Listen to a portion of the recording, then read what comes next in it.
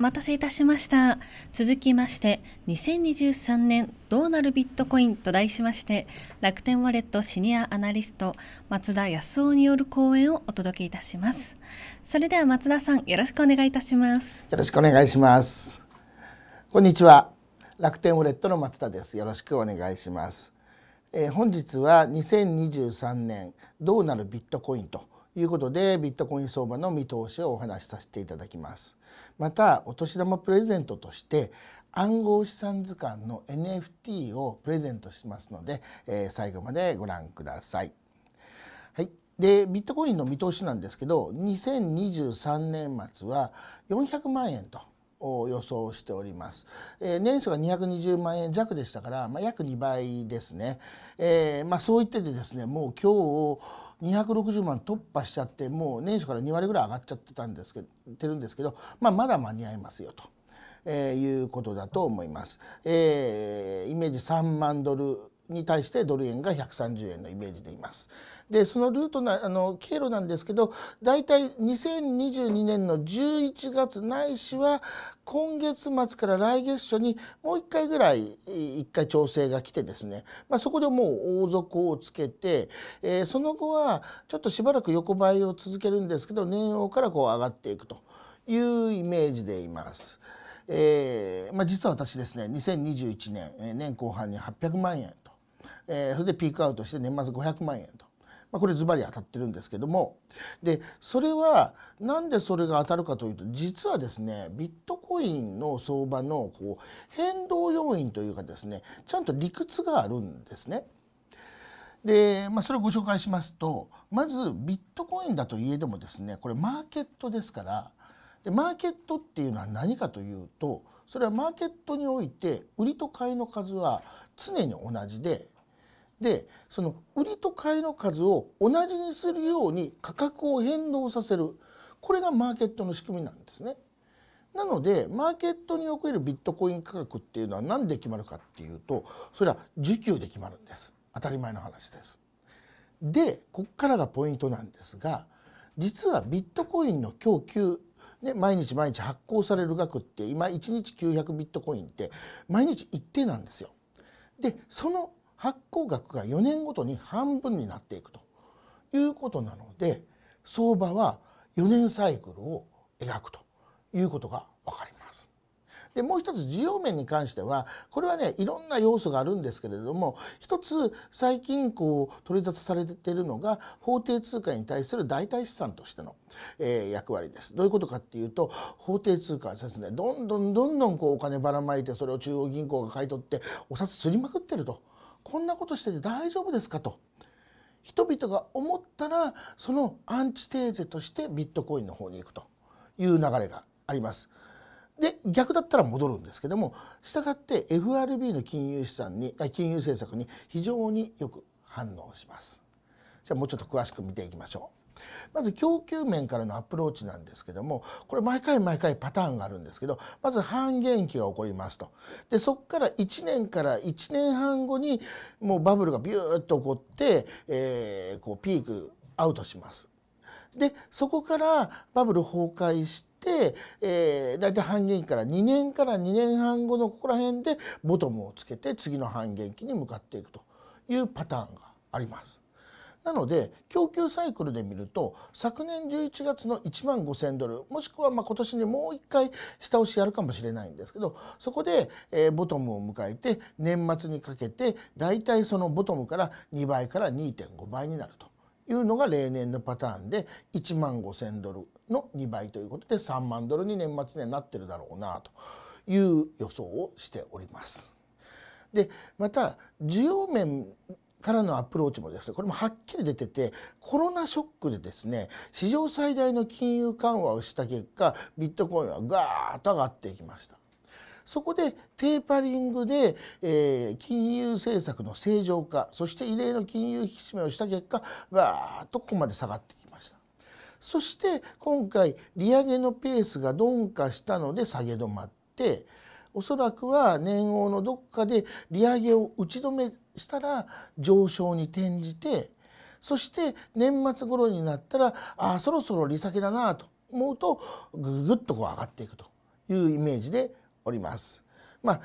その利下げをする時期についてですね FRB と市場の見方にちょっとタイムラグというか乖離があるんですけれども結局2023年末になったらですね2024年って大統領選挙の年なんでもう来年は利下げするよねと景気対策するよねという形に、えー、いずれにしても見ていくということでビットコイン年末にかけて上がっていくというふうに見ております。でその他の要因としてですね、えー、ご存知の方はいらっしゃると思いますけども FTX といってバイナンスにつく世界第2位とされていたあ交換所が破綻したその信用不安の影響というものがありましてすなわち最後の貸し手である中央銀行制度がない暗号資産市場ではその信用不安の連鎖がなかなか収まらない長引いてしまうという傾向があります。ただその FTX の破綻っていうのはですね結局暗号資産業界の問題でビットコインそのものは関係ないですよねと問題ない問題生じたわけじゃないですよねという見方がちょっと生じ始めていて、えー、年前半は低迷するんですが後半からあ市場心理は回復していくんじゃないかなと思っています。あと Web3 関係で、えー、ビットコインは何で使われてるかって一番そのアルトコインの取引だとかですねあと海外交換所の証証拠金送ったりですねあと DeFi だとか NFT の決済として、えよく利用されてるんですね。でその FTX が破綻したことによって海外交換所からですねあのどんどんお金を引き出す動きがあ今出ていて、えー、そういったことはビットコインの需要にマイナス要因となるかなと思ってるんですけど結局お金引き出すってことなんで全部引き出したらもう一回止まりますからまあ前半で一巡して後半にはプラスになっていくんじゃないかなというふうに思っております。まあ、以上がここまでが、えー、ビットコインの今年の見通し、えー、年末には400万円ぐらいになってんじゃないかなというお話でした。でここからですね暗号資産図鑑の NFT のプレゼントについてお話しさせていただきます。えー、暗号資産図鑑というのはその楽天ウォレットが取り扱っている暗号資産を擬人化したあものでこの9体のキャラクターこれを一体一体ですね、えー、楽天 NFT で NFT 化していて、えー、こちらを先着1000名様にプレゼントします。まずクーポンコードである RW202301 これをお控えください。えー、で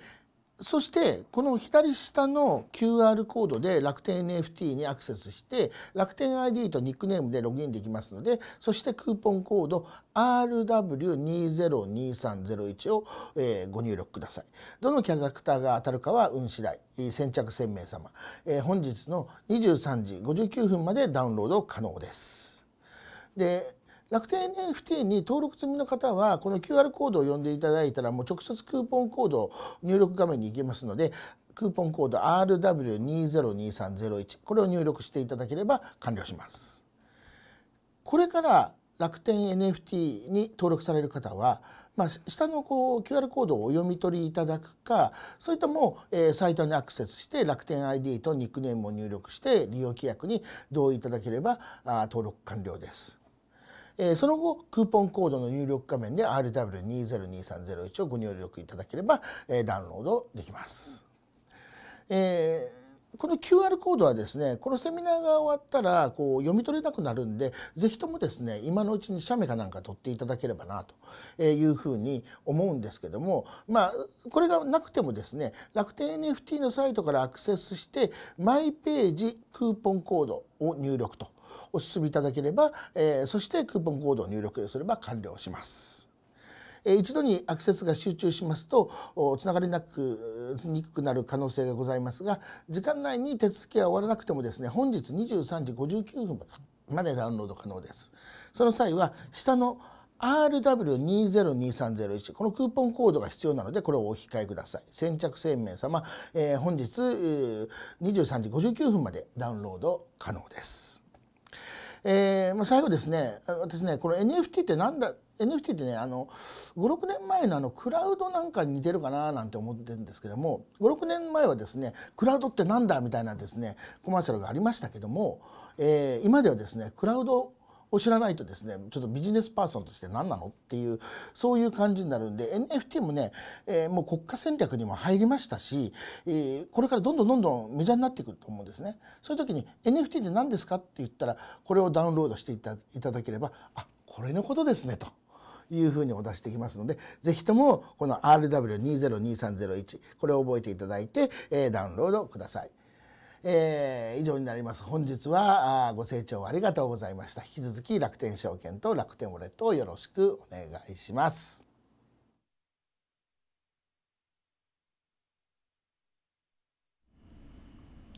松田さんありがとうございました。楽天ウォレットシニアアナリスト松田康夫による講演をお届けいたしました。